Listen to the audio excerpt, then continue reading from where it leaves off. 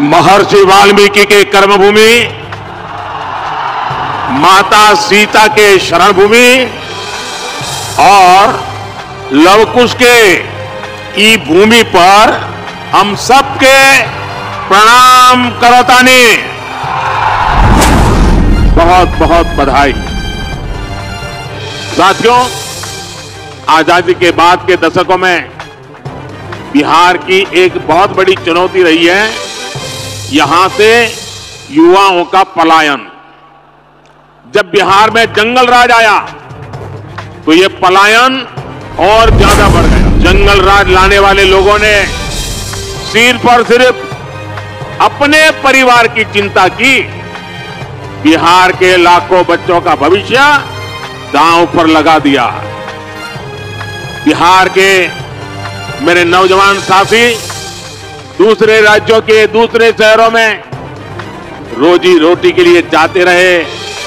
और यहाँ एक ही परिवार फलता फूलता रहा। किस तरह? एक एक नौकरी के बदले जमीनों पर कब्जा किया गया। क्या कोई भी व्यक्ति सामान्य मानवी को इस प्रकार से लूटने वालों को माफ़ कर सकता है क्या? माफ़ कर सकता है क्या? क्या ऐसे लोगों को माफ़ कर सकते हैं क्या? बिहार में जंगल राज लाने वाला परिवार, बिहार के युवाओं का सबसे बड़ा गुनहगार है। जंगल राज के जिम्मेदार परिवार ने बिहार के लाखों नौजवानों से उनका भाग्य छीन लिया। ये एनडीए सरकार है जो इस जंगल राज से बिहार को बचाकर इतना आगे लाई है। साथियों, एनडीए की डबल इंजन सरकार का प्रयास है कि बिहार के युवा को यही बिहार में नौकरी मिले, यही बिहार में रोज़गार मिले। आज जिन हज़ारों करोड़ रुपयों की परियोजनाओं का लोकार्पण और शिलान्यास हुआ है। उसके मूल में भी यही भावना है। आखिर इन परियोजनाओं के सबसे बड़े लाभार्थी कौन है? इसका सबसे अधिक लाभ उन नौजवानों को होगा जो अभी रोज़गार करना चाहते हैं, जो स्कूल, कॉलेज में पढ़ रहे हैं।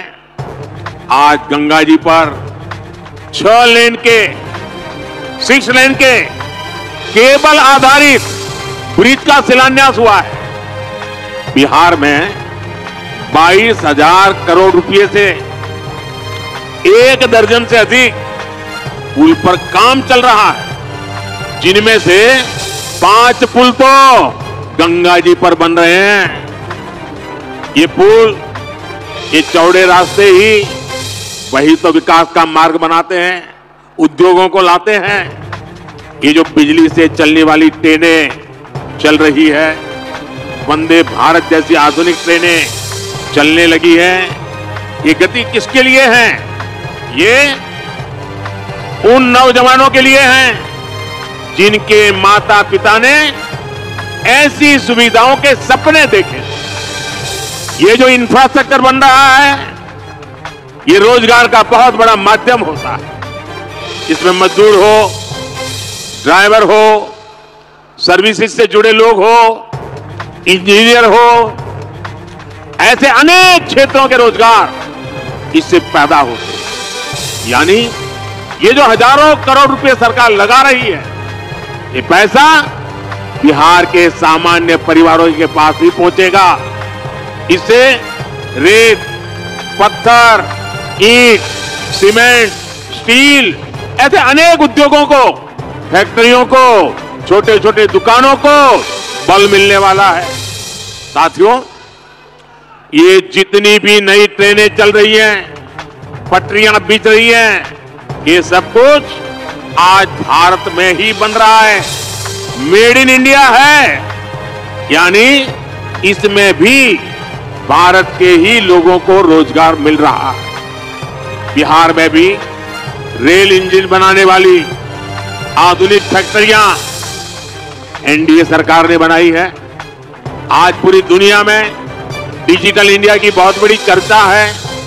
और मैं आपको एक बात और बोलूँ, आज कई विकसित देशों में भी ऐसी डिजिटल व्यवस्था नहीं है जो बेतिया में, चंपारण में उपलब्ध है। विदेशी नेता जब मुझसे मिलते हैं तो पूछते हैं कि मोदी जी, आपने ये सब इतनी जल्दी कैसे किया? मैं उन्हें कहता हूँ ये मोदी ने नहीं, ये भारत के नौजवानों ने किया है। मोदी ने तो भारत के हर युवा को उनके हर कदम पर साथ देने की गारंटी दी है।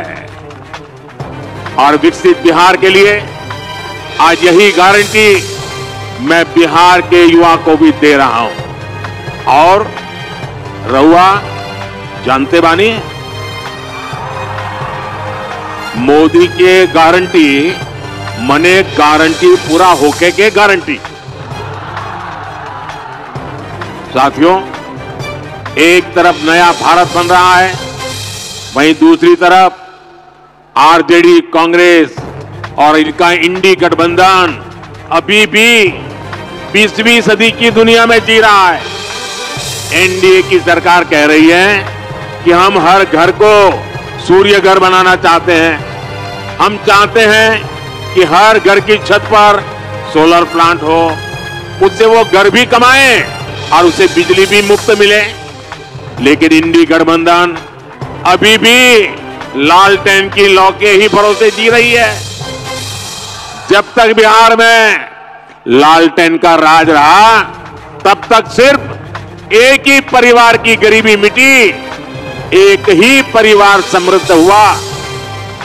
साथियों, आज जब मोदी ये सच्चाई बताता है तो ये मोदी को गाली देते हैं। भ्रष्टाचारियों से भरे इंडी गठबंधन का सबसे बड़ा मुद्दा है, मोदी का परिवार नहीं है। ये लोग कहते हैं कि इंडी गठबंधन के परिवारवादी नेताओं को लूटने का लाइसेंस मिलना चाहिए। क्या लूटने का लाइसेंस मिलना चाहिए क्या? मिलना चाहिए क्या? आज भारत रत्न कर्पूरी ठाकुर जी अगर होते तो ये उनसे भी यही सवाल पूछते जो मोदी से पूछ रहे हैं। परिवारवाद और भ्रष्टाचार के कट्टर समर्थक, ये आज पूज्य बापू जेपी लोहिया बाबा साहब आंबेडकर को भी कटघरे में खड़ा करते इन्होंने भी तो अपने परिवार को बढ़ावा नहीं दिया, बल्कि देश के हर परिवार के लिए जीवन खपा दिया। साथियों, आपके सामने वो व्यक्ति है, जितने बहुत छोटी आयु में घर छोड़ दिया था। बिहार का कोई भी व्यक्ति किसी भी राज्य में रहे, लेकिन छठ पूजा पर, दिवाली पर घर ज़रूर लौटता है। लेकिन वही मोदी, जिसने बचपन में ही घर छोड़ दिया, मेरा कौन सा घर है, जहाँ मैं लौटू? मेरे लिए तो पूरा भारत ही मेरा घर है, हर भारतवासी मेरा परिवार है। इसलिए, आज हर भारतीय कह रहा है, हर गरीब हर नौजवान कह रहा है, मैं हूँ मोदी का परिवार। मैं हूँ मैं हूँ हम बानी मोदी के परिवार। साथियों, मैं गरीब की हर चिंता खत्म करना चाहता हूँ। इसलिए मोदी अपने गरीब से गरीब परिवार को मुफ़्त राशन दे रहा है, मुफ़्त इलाज की सुविधा दे रहा है। मैं चाहता हूँ कि महिलाओं की ज़िंदगी से कठिनाइयाँ कम हो इसलिए मोदी महिलाओं के नाम पक्के घर दे रहा है टॉयलेट दे रहा है बिजली पहुँचा रहा है गैस का कनेक्शन लग रहा है नल से ऐसी चीज़ों पर काम कर रहे हैं। मैं चाहता हूँ कि मेरे देश के नौजवानों का भविष्य बेहतर हो। इसलिए मोदी रिकॉर्ड संख्या में मेडिकल कॉलेज बना रहा है एम्स बना रहा है आईआईटी बना रहा है आईआईएम बना रहा है, ऐसे आधुनिक शिक्षण संस्थान मेरे नौजवानों के भविष्य के लिए बना रहा है। मैं चाहता हूँ मेरे देश के किसानों की आय बढ़े, वो और सशक्त हो। इसलिए मोदी अपने अन्नदाता परिवार को ऊर्जादाता और उर्वरक दाता बना रहा है। आज बिहार समेत देश भर में इथेनॉल के प्लांट लगाए जा रहे हैं। कोशिश यही है कि गन्ना किसानों, धान किसानों की उपज से देश में गाड़ियाँ भी चले और किसानों की कमाई भी बढ़े। कुछ दिन पहले ही एनडीए सरकार ने गन्ने की खरीद का दाम 340 रुपए प्रति क्विंटल कर दिया है। कुछ दिन पहले ही एनडीए सरकार ने दुनिया की सबसे बड़ी अनाज भंडारण योजना शुरू की है। इसके तहत देश में, बिहार में हज़ारों गोदाम बनाए जाएँगे। बिहार के मेरे छोटे छोटे किसान परिवारों का जीवन आसान हो। इसके लिए पीएम किसान सम्मान निधि के तहत भी उन्हें हज़ारों करोड़ रुपए की मदद दी गई है। यहाँ बेतिया के ही किसानों को करीब करीब 800 करोड़ रुपए पीएम किसान सम्मान निधि के मिले हैं। और इन परिवारवादियों ने आपके साथ क्या किया? इसका एक उदाहरण मैं आपको देता हूँ। यहाँ बरौनी का खाद कारखाना कब से बंद पड़ा था? इन परिवारवादियों को कभी इसकी चिंता नहीं हुई। मोदी ने किसानों को, मजदूरों को इसे फिर से शुरू करवाने की गारंटी दी थी। आज ये खाद कारखाना अपनी सेवा दे रहा है। और नौजवानों को रोज़गार भी दे रहा है। और इसलिए ही लोग कहते हैं, मोदी की गारंटी यानी गारंटी पूरा होने की गारंटी। साथियों, चुनाव में ये जो इंडी गठबंधन वाले हैं ना, उनको पता है, अब वो कहीं के रहने वाले नहीं है। और अपनी हार तय देख, इंडी गठबंधन के निशाने पर खुद भगवान राम भी आ गए हैं। यहाँ बेतिया में माँ सीता की अनुभूति है लव कुश की अनुभूति है।